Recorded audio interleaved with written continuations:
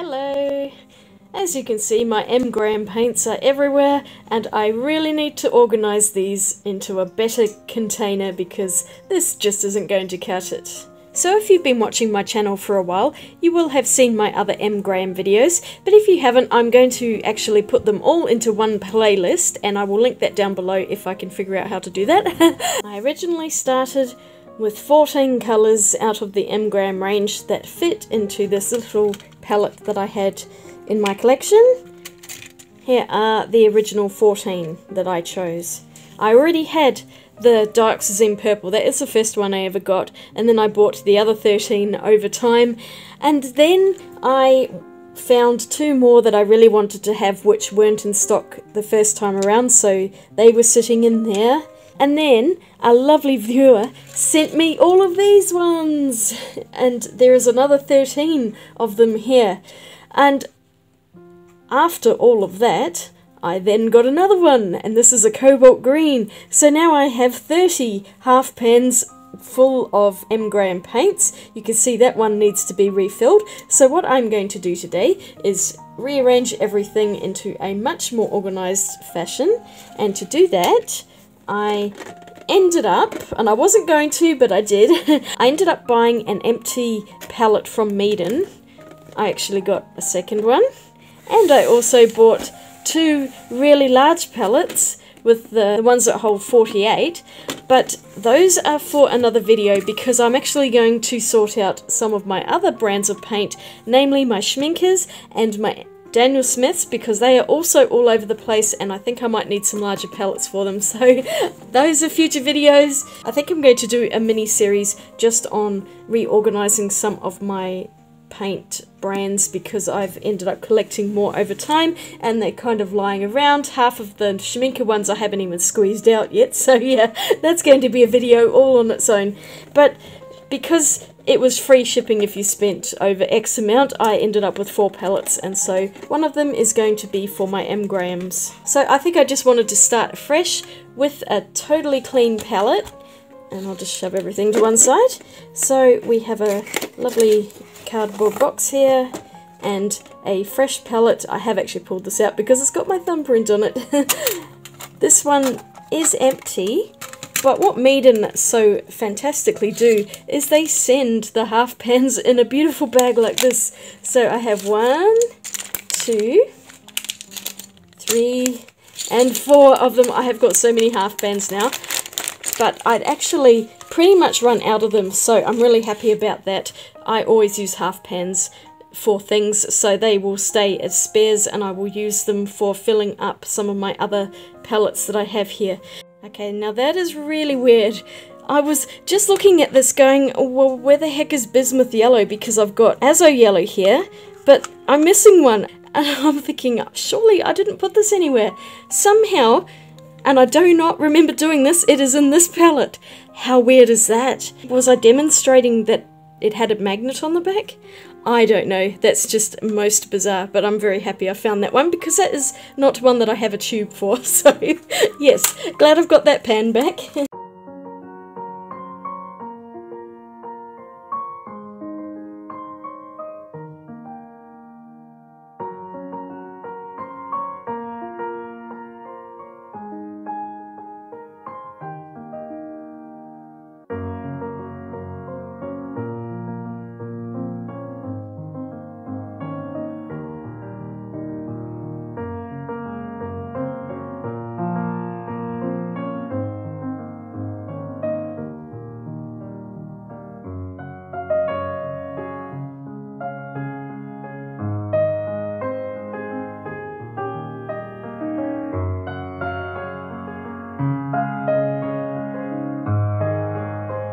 Some of these pans are just filthy.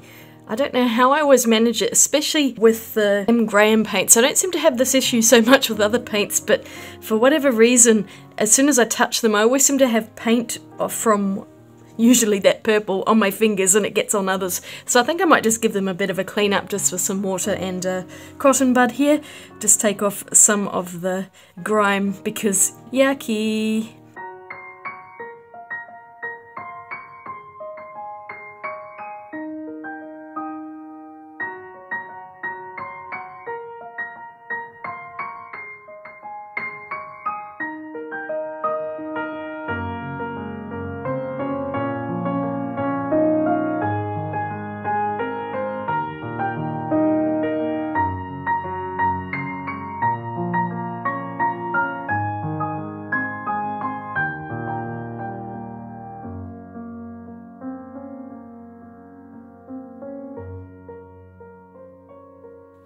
It's always such a really difficult time making a decision as to what the order of colours should be. Oh my goodness.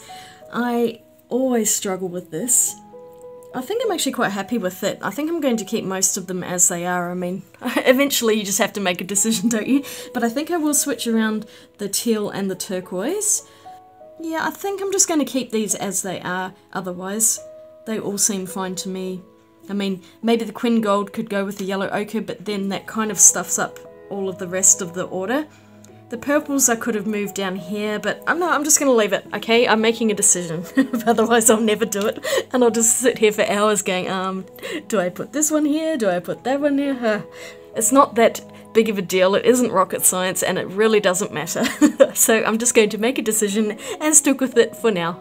I've got some pens that need more paint in them, but I'm going to fill them up after I've put them in the box because it's really hard to pick them up when the paint's wet, so that is what I'm going to do. I hope I don't regret that decision either. But let me get this purple in there before I get it on myself any more than I already have.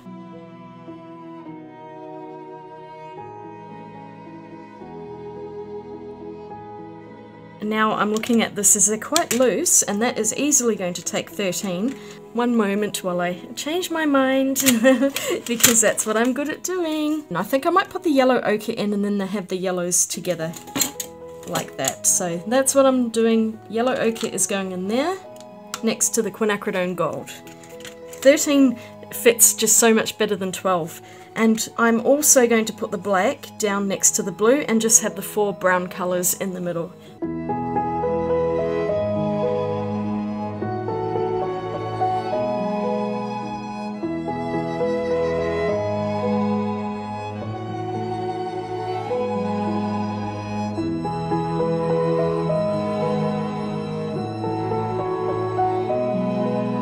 So those are all squished in and they're not going anywhere. So I'll put that back in. That's quite satisfying looking at that. Now I've got all of the cobalt colours except for the cobalt blue and at the moment that does not seem to be in stock at the art shop so I may end up getting the cobalt blue eventually, in which case I will move that black back up there and I'll put the cobalt blue down there. But otherwise I have no intentions on buying any more unless someone sends me more and then I'll just be going, ah, then I've got to redo another palette. But no, I think I'm good with all of the colours. I really don't need any more. I keep telling myself that and one day I might believe it. In here I can put a travel brush.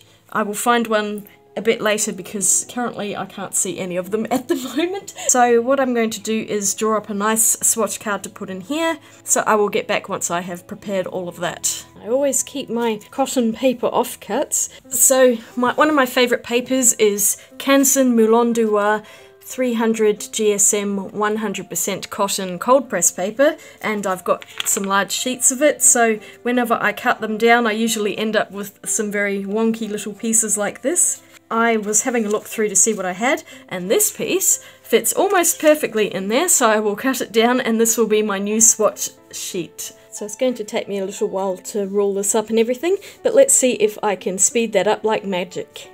Ta-da! I found a brush, so I will use this one to swatch all of the paints out onto this card, which I almost got perfect except for the turquoise because I'd forgotten almost to switch those two around. Whatever, it's good enough.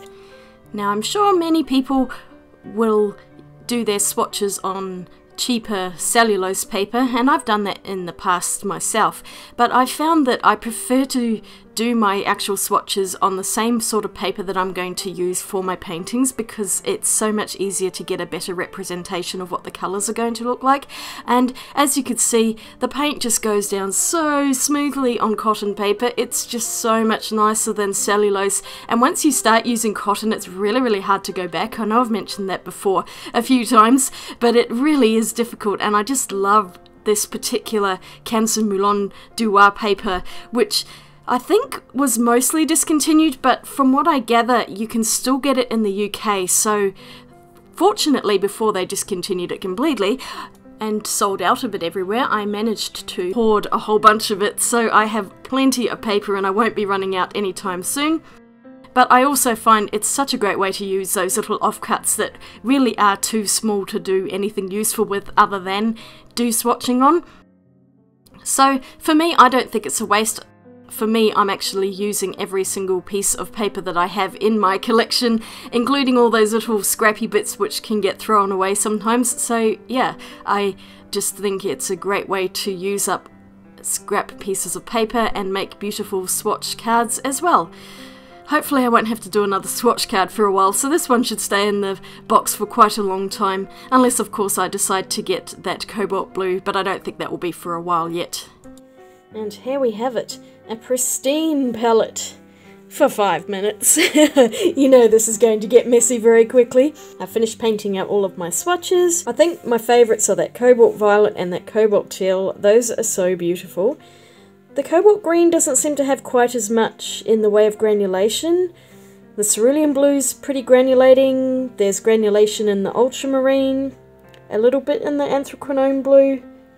But definitely in the teal and the violet, these two are the most granulating. So yes, this is my full palette. As you can see, there's a lot of blues and a lot of yellows, but I think it's quite nice. There are subtle differences between them. Some of them are more transparent than others, for example. And also, I find that when you start making mixes, if you have a lot more colours like this, you can have infinite mixes rather than, you know, just a handful of them. So there's good things and bad things for having larger palettes of paint, but I always prefer prefer to have more because I like to change my colours up. I don't always like to paint with the same ones every single time. So what I'm going to do is a painting.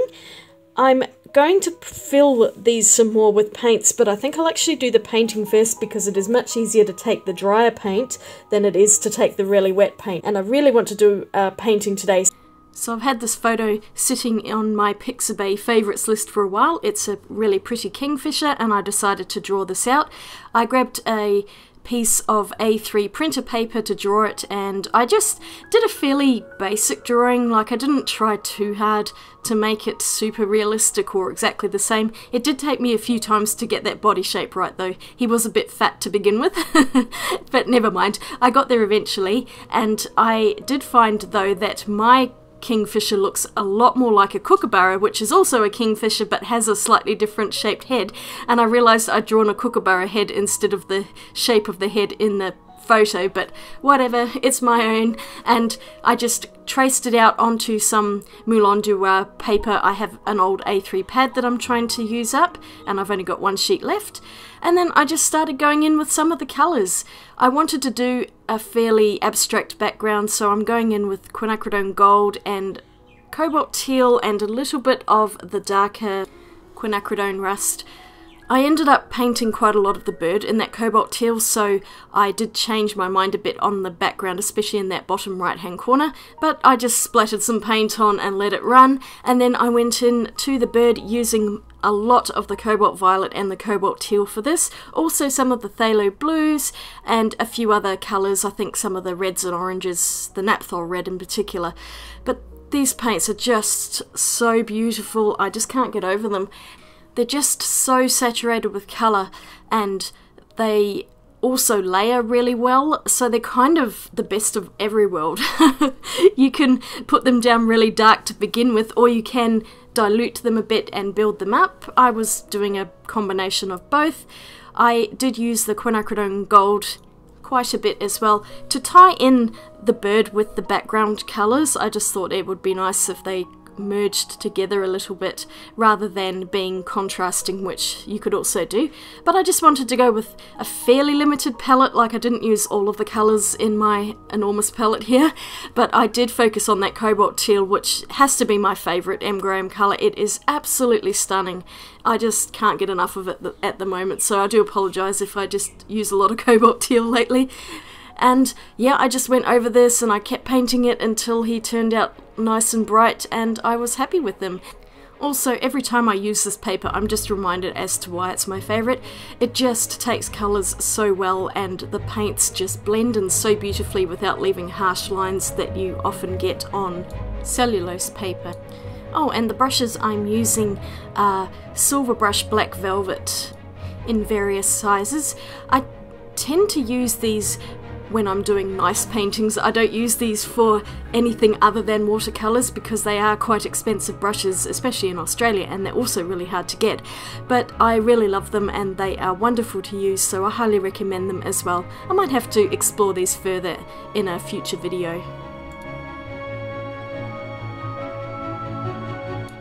and I kept forgetting I was filming and I kept putting the phone on camera so that you can see that I am just working off a small image there. I was too lazy to print it this time.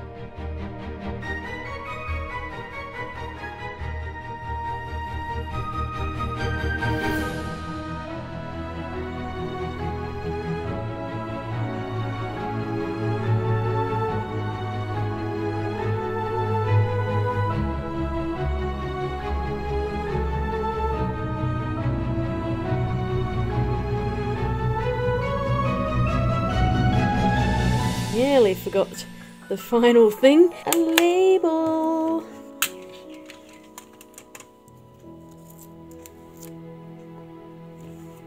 There we go. Now it's mine. So here we have it. The final box full of M. Graham paints.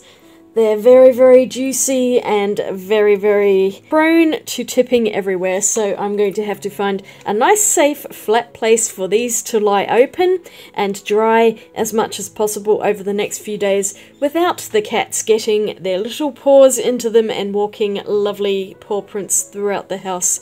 It's not the first time that's happened, but hopefully it will be the last. I have learned my lesson on that one. So herein lies the end of the saga of the M. Graham watercolour paints. They were everywhere, now they're all beautifully stacked into this lovely paint tin. I can fold them away and they can join the rest of my rather large watercolour collection. So you haven't seen yet what I have in store for the Schmincke paints, but that's a story for another day.